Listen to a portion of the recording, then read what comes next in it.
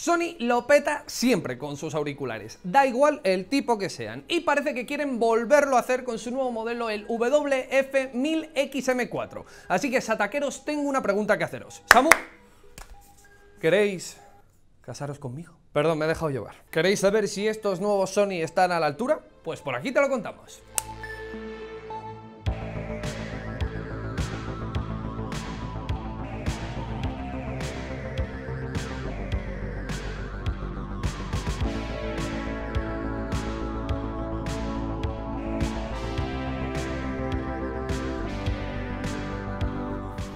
Saludos ataqueros, por aquí Fabio Rodríguez y como no podía ser de otra forma, empezamos este análisis hablando del diseño de estos cascazos. Y comenzamos diciendo que no tienen nada que ver con sus predecesores, los 1000 XM3. Sony ha conseguido que sean algo más disimulados y algo menos voluminosos. Eso no significa que no sean grandotes, que lo son. De acuerdo a Sony, los auriculares ocupan un 10% menos de volumen y el estuche un 40% menos, aunque del estuche hablaremos luego. Hablando de sus materiales, los auriculares están hechos de plástico. ¿Pero qué plástico, amigos? ¡Qué plástico! Son muy agradables al tacto y se sienten robustos. Los que hemos tenido ocasión de probar nosotros son de color plateado, aunque aquellos que prefieran la estética de Sony, el clásico negro, podrán conseguirlos también en ese color. Repartidos a lo largo y ancho de los auriculares tenemos la superficie táctil para hacer gestos, así como el sensor de posición, los pines de carga y tres micrófonos. Dos de ellos con sensor de ruido. ¿Y para qué sirven? Pues evidentemente para darle vidilla a la cancelación de sonido, a las llamadas y a la voz. En cuanto a la ergonomía, hay que decir que son muy cómodos, mucho más de lo que pensé en un primer momento al ver la funda de los auriculares. Como ya sabemos, cuando nos ponemos unos auriculares TWS es importante que probemos todas las almohadillas que vienen en la caja para encontrar la que mejor se adapte a nuestro oído. No es solo una cuestión de comodidad, que también, sino de cancelación de ruido pasiva. Fijaos que siempre que hablamos de almohadillas hablamos de almohadillas o fundas de silicona, sin embargo esta vez no.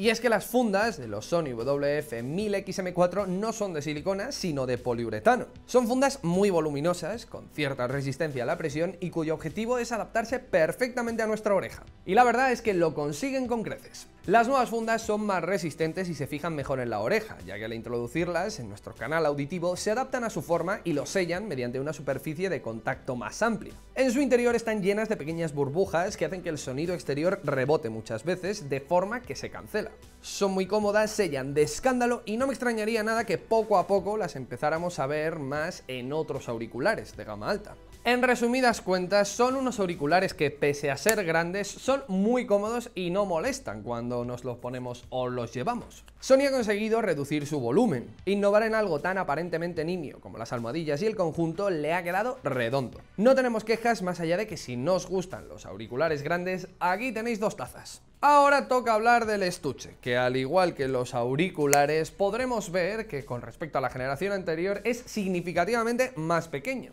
Los Sony WF-1000XM3 tenían un estuche enorme que se notaba muchísimo en el bolsillo. Los VF-1000XM4, sin embargo, tienen un estuche un 40% menos voluminoso que se agradece cuando lo llevamos en el bolsillo. Es relativamente ligero, aunque más pesado que el de otros auriculares de gama alta como los AirPods Pro o los FreeBuds Pro de Huawei. Al tacto es agradable, igual que los auriculares. Y sí, también está hecho de plástico, pero se nota bien pulido y es muy suave. La tapa tiene un cierre magnético que evita que se abra con un movimiento brusco o por accidente. Y en definitiva, nos ha gustado. En la parte trasera tenemos el puerto USB tipo C, en el LED frontal un LED que nos indica el estado de carga de batería y en la parte inferior la base de carga inalámbrica. No tenemos ningún botón ni nada por el estilo. En definitiva, el estuche es sencillo, funcional y cumple con su tarea, transporte y carga. Pasamos así a hablar de su experiencia. En esta sección nos centraremos en la compatibilidad, la app y sus funcionalidades. Los Sony WF-1000XM4 son compatibles con Google Fastpair y con los tres asistentes de voz principales del mercado, a saber Siri, Google Assistant y Alexa.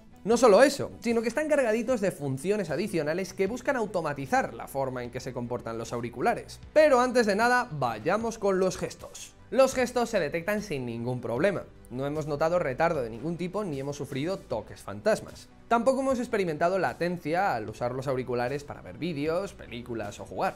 Vamos, que son unos auriculares de gama alta y se comportan como tal. Se pueden hacer cosas clásicas como pausar, bajar el volumen, siguiente canción, anterior canción, lo típico. Sin embargo, esas son las funciones más tradicionales. Vamos ahora con las funciones más avanzadas. Por un lado, los auriculares tienen detección de viento automática, por lo que cuando detectan que el viento es más fuerte de la cuenta, lo cancelan sin que tengamos que hacer nada. Eso es posible gracias al micrófono de alimentación anticipada que se encuentra en el exterior. Por otro lado, los auriculares cuentan también con control de sonido adaptativo. Esta función sirve para detectar qué estamos haciendo y adapta la configuración de sonido automáticamente. Por ejemplo, si estamos parados, se activa la ANC, mientras que si andamos, se activa el sonido ambiente a cierto nivel o si corremos, se activa al máximo. Los cuatro modos son configurables y modificables, de forma que podremos configurar el modo andar para que tenga más o menos supresión de ruido, por ejemplo. Y decir que el sistema funciona de miedo, de verdad, parece casi magia. Basta con levantarte, a echarte un vasito de agua para que los auriculares lo noten y activen el modo andar automáticamente. De igual manera, si esta función no os importa mucho, también la podéis desactivar. Esta misma función también se puede hacer con geolocalización, y la verdad es que mola bastante. La app usa nuestra ubicación GPS para determinar dónde estamos y adaptar el modo de sonido según el lugar. De esa forma podemos configurar que en la oficina haya cierto sonido ambiente y en casa cancelación de ruido completa. Otra función interesante es el Speak to Chat. Básicamente los auriculares detectan cuándo empezamos a hablar y se pausan automáticamente para que podamos mantener una conversación sin quitarnos los auriculares. Y de nuevo es algo que funciona de escándalo. Por lo demás, desde la app podemos acceder a un ecualizador, a la batería de los auriculares y el estuche, a la configuración de 360 Reality Audio y a todo lo relacionado con el software, el sensor de posición y la guía de voz.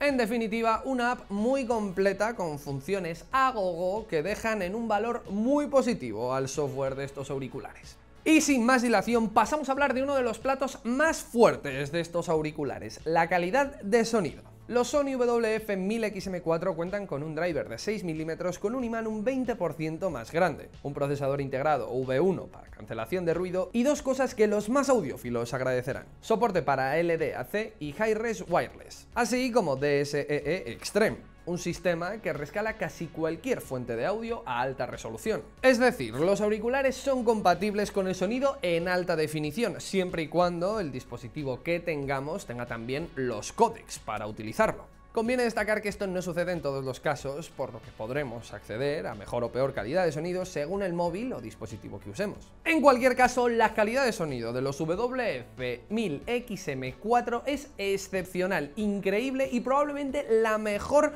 que hayamos encontrado hasta la fecha en un auricular TWS son los auriculares TVS o True Wireless Sound a batir en calidad de sonido. Se escuchan de miedo. La representación de las frecuencias medias y agudas, que suelen ser las más complicadas, es fantástica. Y los graves están muy definidos. Tienen esa pegada que tanto gusta pero sin llegar a ser exagerada. De verdad os digo que es un sonido muy equilibrado y muy disfrutable. Se pueden distinguir los matices de la voz de los cantantes con un alto nivel de detalle. La escena sonora está bien representada y da gusto escuchar música, podcast o cualquier cosa realmente. Si alguno quiere modificar la reproducción, tiene el ecualizador a su completa disposición para hacerlo. Es de esas cosas difícil de explicar con palabras. Por ejemplo, en temas de rock podemos distinguir sin problema las guitarras y los bajos, mientras que en tema de géneros más urbanos podemos disfrutar los matices más al fondo y la pegada de los graves. Y cuando hacemos una llamada el sonido es igualmente nítido. Cuando usamos los dos auriculares se usan los micrófonos para llamadas y la alimentación anticipada del auricular derecho. O sea que no se activan los micrófonos de los dos auriculares. Si llevamos solo un auricular se usarán los micrófonos de dicho auricular.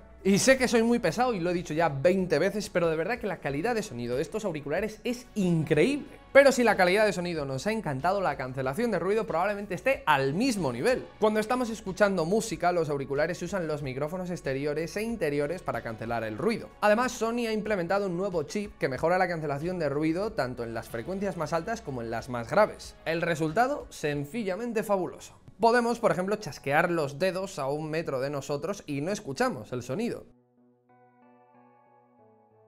Saludos al niño del sexto que está aprendiendo a tocar la batería. Y los propios de la calle, como coches y conversaciones de corta media distancia. Vista la cancelación de ruido, toca hablar de la batería. Y es que cuando los auriculares TVS ofrecen unas prestaciones como estas, solemos tener que sufrir una autonomía más baja de la cuenta. Pero aquí para nada es el caso. Es bastante sencillo superar las 7 horas y media de reproducción continua de música con la ANC activada, una cifra que hasta ahora solo habíamos visto en algunos auriculares más básicos y sin cancelación de ruido activa. Sony promete 8 horas de autonomía, así que podemos decir que la marca nipona es fiel a su palabra. Si desactivamos la cancelación de ruido aspiramos a conseguir hasta 12 horas de autonomía. Pero soy sincero, teniendo esa autonomía es absurdo quitar una opción tan chula como esta. La recomendación de Sataka y mía, dejadla activada y disfrutad de los auriculares. Si tenemos en cuenta la batería del estuche, aspiramos a una autonomía máxima de 24 horas y entre 2 o 3 cargas completas de los auriculares. Y hablando del estuche, este cuenta con una opción de carga rápida que en 5 minutos nos da una hora de autonomía. Se carga por puerto USB tipo C y por fin es compatible con carga inalámbrica QI. Sea como fuere, quedémonos con la idea de que la batería es sobresaliente. Llegados a este punto, la verdad es que solo podemos tener palabras bonitas para los WF-1000XM4 de Sony. Y es que son unos auriculares excepcionales, de verdad. Son ergonómicos, ofrecen una calidad de sonido sobresaliente, la cancelación de ruido es maravillosa y la batería nos permite usarlo durante largas sesiones sin tener que preocuparnos. Son todo lo que le podíamos pedir a unos auriculares inalámbricos de gama alta. Y por ello podemos decir sin miedo a equivocarnos que los Sony WF-1000XM4 son a día de hoy los mejores auriculares TVS que te puedes comprar, siempre y cuando estemos dispuestos a pagar los 279 pavazos que cuesta. Con esto cerramos este análisis hi-fi sin pérdida como los Sony. ¿Qué te parecen a ti, Sataquero? ¿Vas a vender alguno de tus órganos para poder disfrutar de la máxima calidad de sonido con estos auriculares TVS?